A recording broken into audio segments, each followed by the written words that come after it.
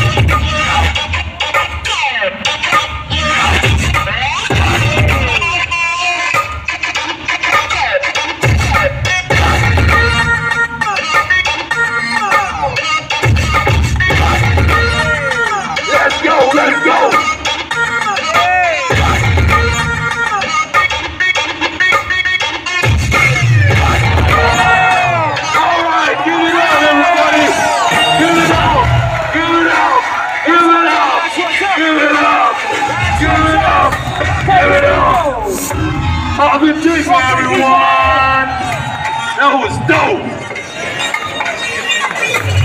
Thank you for being such a good audience. You